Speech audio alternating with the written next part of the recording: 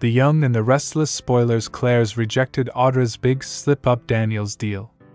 Audra's in a celebratory mood, but things get dicey when she spills the beans about Victor being the secret investor in Glissade. Nate advises Audra to be wary of Victor's influence. Meanwhile, Victoria is over the moon as her children, Johnny and Katie, return from boarding school. Their reunion is heartwarming, but the joy is short lived as Claire shows up and the kids' reactions are frosty.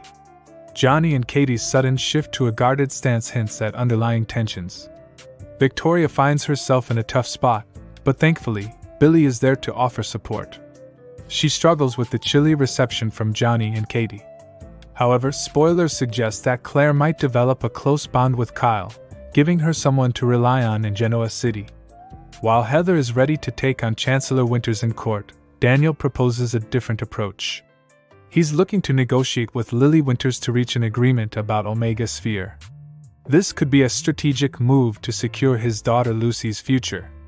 Ensuring her safety and a good education is his top priority, even if it means putting everything else on hold. Claire's nightmare.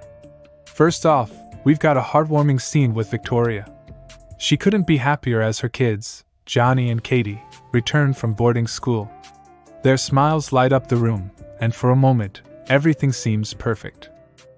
But this is a soap opera, and you know happiness doesn't last long here. Enter Claire, whose presence quickly shifts the atmosphere. Johnny and Katie's joyful expressions turn cold, and the tension becomes palpable. Katie might even lash out at Claire, completely shattering her attempts to integrate into the family. Now, shifting gears to GCAC, we see Nate grilling Audra about her recent Paris escapade. Audra is riding high on her success, having made the formidable Tucker lose. She's in the mood to celebrate with some drinks and a good meal.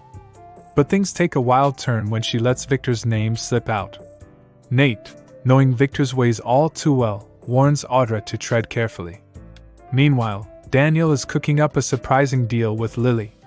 While Heather is all fired up and ready to battle Chancellor Winters in court, Daniel seems to have a different approach. He's considering a peaceful settlement regarding Omega Sphere. This move could be crucial for him, especially since he's been laser focused on reclaiming control of Princess Louisa. A deal with Lily could mean a fresh start for Daniel, ensuring Lucy's safety and future. So will Daniel succeed? Thank you for watching the video. If you enjoyed the video, make sure to check some of our other videos. And we hope to see you again in the next video.